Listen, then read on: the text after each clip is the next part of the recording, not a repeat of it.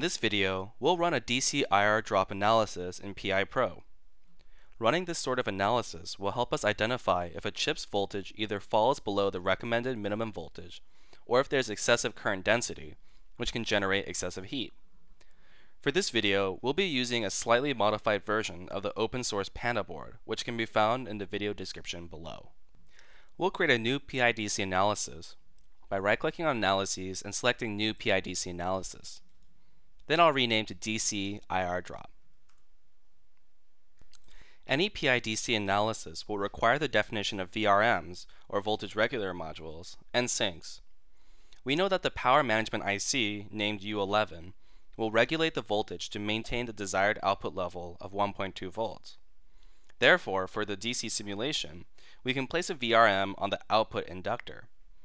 We'll also define the sink as a processor chip on the board, named U10. We'll add two nets from the power management IC. Under Nets, filter by VDD vCore, and select number 2 and 3. Let's find the output inductor that's connected to the vCore2 net. Right-click on the net and click Select Instances Connected to any of selected net. Then we'll scroll to the inductor, right-click, and select Create VRMs for analysis. Then we'll select the power net. I'll do the same thing now for the other power net.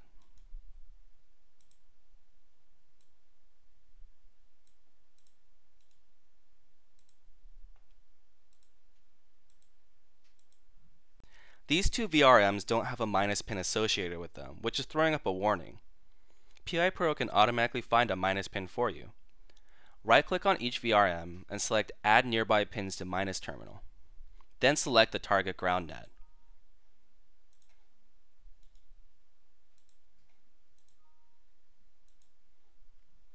Notice that the digital ground net has automatically been added to the list of nets. Let's now set up the sinks from the U10 processor chip. In Components, search for U10. Right-click on the component and select Create Sinks for Analysis. Then select the two power nets.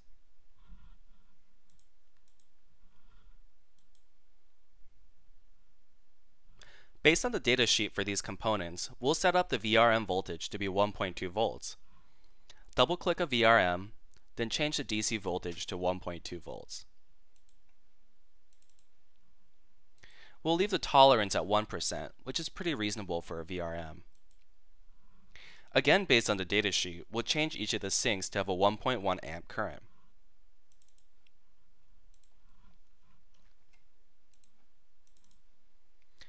We'll leave the tolerance at 5%, which is pretty reasonable for sinks. Let's now run our analysis.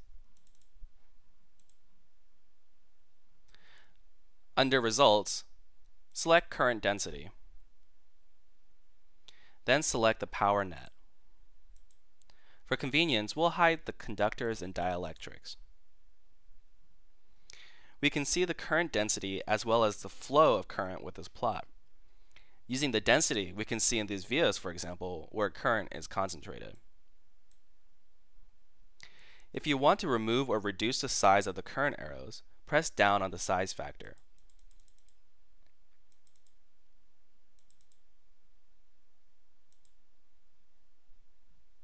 Let's now unload our current density result, then add the voltage result for the power net.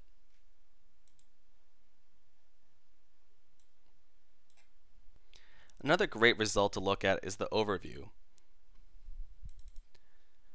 Under each tab, we can see if the PI analysis passed or failed based on the specifications that we set earlier. In the VRMs tab, for example, we can see that the output voltage was within the threshold that we specified earlier. These results are important steps in the verification process of our board design. Thank you for watching this Keysight EEsof EDA tutorial.